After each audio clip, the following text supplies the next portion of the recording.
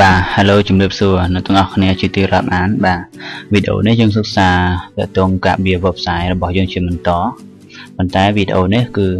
យើងធ្វើបន្តពីវីដេអូមុនបាទអញ្ចឹងគោលបំណងរបស់ខ្ញុំពេលខ្ញុំបើក form ថ្មីមកគឺអបាត់ពេលបើក page មកគឺអបាត់បាត់ form ហ្នឹងមិនឲ្យចេញទេប៉ុន្តែនៅពេលដែលយើងចុច click add នេះវានឹងបង្ហាញចេញមកវិញបាទ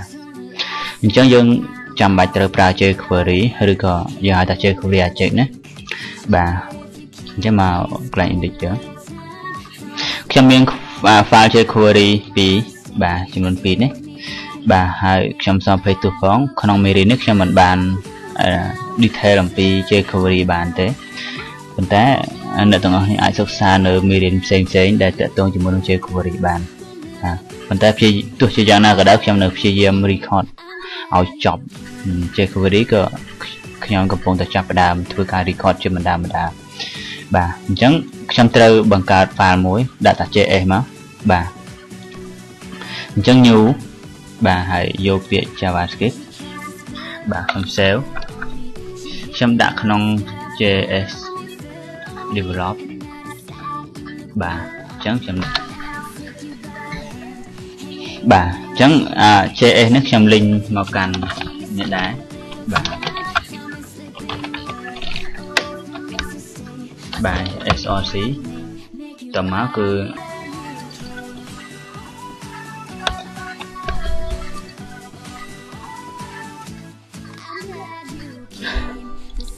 Bà, chấm. Tầm máu cứ dương bàn và trẻ muối, cứ nơi càng còn nét, bà.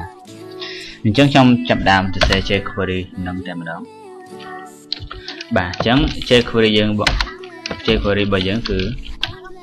បាទ document array អញ្ចឹងចូលមកកន្លែងនេះយើងបង្កើតជា class មួយដើម្បីដាក់ jQuery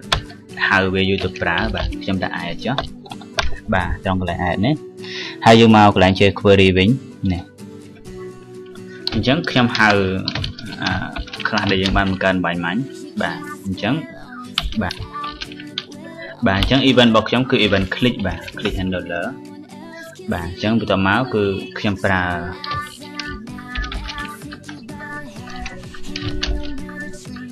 បាទអញ្ចឹងបករបស់ខ្ញុំគឺបកឯងបាទ animate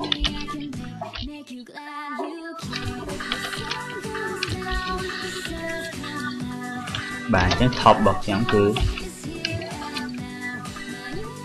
ហើយ បាទអញ្ចឹងវានេះ top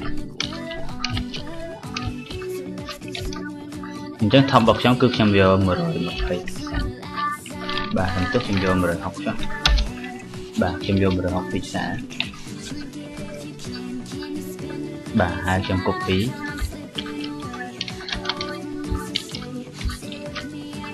បាទហើយកន្លែងខ្ញុំដាក់តាម100 120ចិត្តបាន បាទអញ្ចឹងនេះគឺជា file jQuery របស់យើងបាទអញ្ចឹងយើងធ្វើការតេស្តសាកល្បងមើលបាទឥឡូវខ្ញុំ refresh ចោលសិនបាទទៅ refresh វាបាត់បាទអញ្ចឹងយើងនៅពេលដែលយើងចុច add new នេះបាទវានឹងបង្ហាញចេញមកវិញ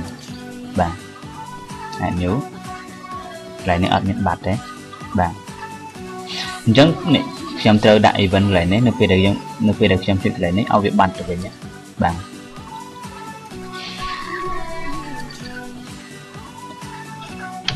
bà chấm slash nét dương phần tay dương. Bà chấm dương từ xe code phần tay dương từ lại anh địch sẵn, bà từ lại form bà chạm lại form cứ chạm trong lại này mùi. Bà chấm à, dương đã là ID của bạn là của bạn đấy. Bà mình chấm là ID chứ. Bà chấm ID bà không copy. ចឹងខ្ញុំមកកន្លែងដែលយើងដដែលអាសំទុះជា query យើងដដែលបាទយើងមកកន្លែងនេះមកបាទអញ្ចឹងយើងប្រើ ID មាញ់បាញ់មាញ់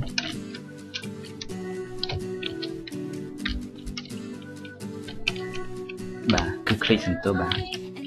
គេបាន handler នេះបាទនឹងកន្លែង form នេះគឺខ្ញុំឲ្យវាឡើងកើនទៅវិញបាទអញ្ចឹងខ្ញុំត្រូវ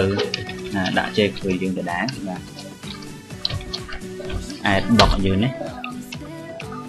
បាទអញ្ចឹង dot animate មកបាទបាទអញ្ចឹង top របស់ខ្ញុំអញ្ចឹង top របស់ខ្ញុំខ្ញុំដកខ្ញុំដក360ទៅបាទណាយើងដុំបាទតេស្តសាកល្បងអញ្ចឹងនៅពេលដែលយើងចុច add new គឺ form ចាប់ផ្ដើមធ្លាក់មក បាទហើយបន្តមកគឺយើងក្នុងករណីយើងបំពេញបើយើងអត់បានបំពេញទេយើងចុច cancel ទៅវិញទៅវានឹងបាត់ទៅវិញបាទអញ្ចឹងសូមអរគុណដែលបានសិក្សាពីវីដេអូនេះបាទ